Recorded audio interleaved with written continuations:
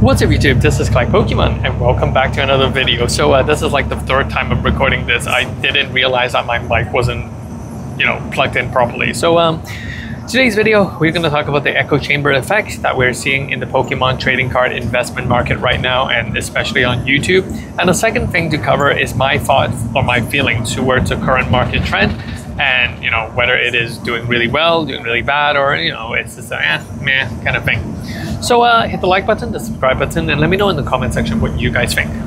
So the echo chamber in fact, is uh, the idea that you know we hear things and uh, that kind of things is amplified, and I think that's the case in the Pokemon trading card investment market right now. Everyone is talking about the 151 Charizard. Every thumbnail I open, every thumbnail I see on YouTube is the same thing and um, and then uh, a lot of people put their own little spin to it, saying how you know, oh, the entire 151 is doing really well. Uh, you know, it doubled in price. You know, buy now. And because of that, it, it, it, brings a lot of attention to the 151 Charizard. And because of such attention, um, you know, Charizard is going up in price, and it will continue to go up in price because the demand of that card is increasing. But talking about supply and demand, you need to understand that, you know, in general, the demand of Pokemon cards hasn't risen that much, or not as I've seen it. What is happening is that the supply of certain products are decreasing, and because of that, there is going to be some price um, adjustments, such as the Evolving Skies booster box. And I did make a video before talking about the Evolving Skies booster box around two weeks ago, saying how it has finally hit $700 and um, it's been two weeks and it is still at $700. And some sales are actually dropping below 600, uh, $700, around like 680 or something along that line. This tells me that the demand didn't increase. The demand is the same. Overall, the adjustment is because the supply has dropped. And when the price goes up, people think it's the right time to sell. The supply increases. And that's why we see a fluctuation at around that $700 price range. And when will we see a greater growth is when we actually see an increase in demand, which I would expect later on uh, this month or early next month when Pokemon Pocket is released. Well, the, the effect actually, um, it, it's going to go on for a little bit more longer, but yeah. So not at this moment. The, the, the market at this moment is actually quite stable. It is quite balanced. It is just making adjustment because of the decrease in supply and remaining high in demand. And I mean, you could say that, you know, hey, Pokemon still has a high demand, better than Digimon or something like that. That's a good sign, right? Yes, that's a good sign. But it doesn't mean that the market is doing like super well or something along that line. Now, another thing that I've seen in a recent video is that some YouTuber talking about, hey, we should really catch the wave. And uh, you know, we should buy those Pokemon cards right now. You know, buy Evolving Skies. You know, it's going to go to a team up price. Um, no, it's not. I mean, know that it is not that it's not going to go to team up price, but it is going to be very, very risky when you are catching the wave. Simply because people spending habits are very, very different when it is a product that is under $500 and a product that is above $500. You know, anything under $500, if I want it, I just buy it. I don't even think about it. I don't even let it sit. You know, it's kind of like an impulsive buy. But anything that is about $500 is not an impulsive buy. It is a planned buy. You know, I would plan, I would look, I would, you know, look at the price and stuff, and, and you really think, should I spend that money?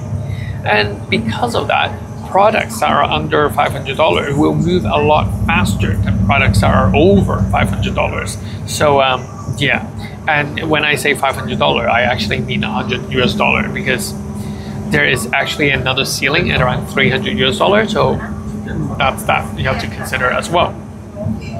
So when you're catching a wave with things such as Elite Trainer Box with the 151, that's fine. You know, it's sitting at around 80 $90. It can easily go to 150 200 US dollar. But if you want to catch the wave for things such as um, evolving skies, definitely don't do it because you know you could have better spent that money elsewhere and you'll get a higher ROI and a faster ROI. So um, yeah, that's my take into that.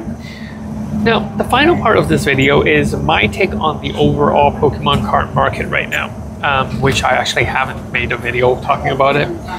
Um, as you guys know, I collect a lot of the high-end collectability, you know, very classical cards like the Poncho, the Mario Luigi, uh, like the Munch, the Scream, the Van Gogh Pikachu.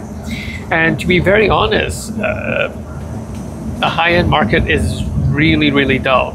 Anything that is above $2,000 or was above $2,000, we're not seeing a lot of movement. If anything, Scream Mimikyu has dropped in price. Scream Pikachu has dropped in price. I think the only card that actually went up in price is the PSA 10 Munch Psyduck, Luigi Pikachu, Mario Pikachu, stagnant. You know, it's been stagnant for like, I don't know, two years now.